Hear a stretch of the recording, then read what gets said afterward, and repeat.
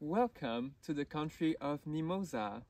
We are here in the Tanneron, which is near the French Riviera, to talk about this amazing, one of my favorite actually, plants, the mimosa. So the Latin name of this species is Acacia dealbata, um, and it is from the family of the legumes, also known the family of Fabaceae, where you find your classical peas, beans, but also wisteria. So it's a really big family. And why are we talking about this special plants is because we usually talk about plants in their native environment, but as you can see here, the mimosa is really feeling at home here. The mimosa is actually a native from southeastern Australia and it was brought to the French Riviera by English people who had fancy gardens, but the issue is that it escaped very quickly and now it colonized most of Western Europe, especially Portugal and the Côte d'Azur where we are now in red.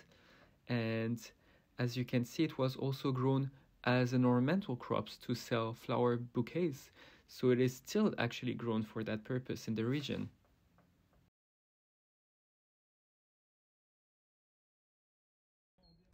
As you can see with this red cross, this is what a mature mimosa tree is looking like. So quite tall, quite big, but actually mimosa only lives up to an average of 40 years old, which is really a short time as a tree time.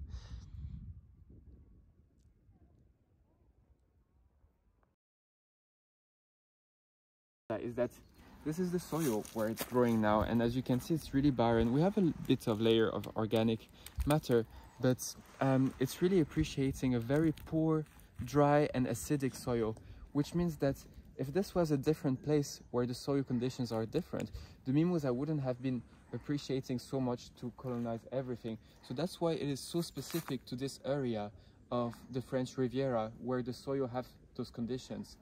And um, second thing as well is that we have those other native plants which are characteristic of an acidic soil growing here like this lavandula stoechas which is characteristic of dry acidic soils as well as those cistus but as you can see the mimosa is definitely having some competition.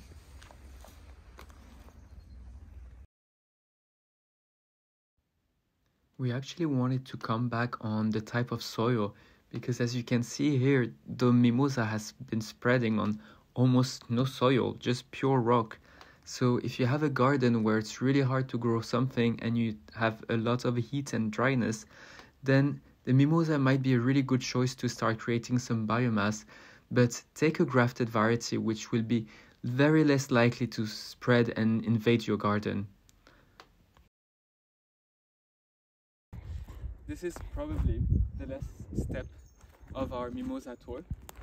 What we want to share here is that think well about where you're gonna plant your mimosa, what height you want it to be because mimosa react really badly to being cut. And if you cut your mimosa it's gonna look like this. It's not gonna recover well. So it's really important to think about what you're doing. And if you ever have to cut it cut it really close to the trunk so you don't have this effect.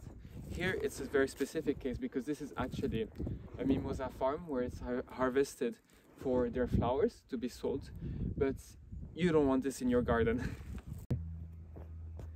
Ting, what do you think of your first time in Mimosa Land? Um, it's stunning. It feels like so much liveness and uh, like such a bright color cover all the mountain. But also I feel it's kind of scary. Like uh, I never saw a plant would be like so uh, much uh, produced in the one area that you can see like miles and miles of uh, mimosa and it's like everywhere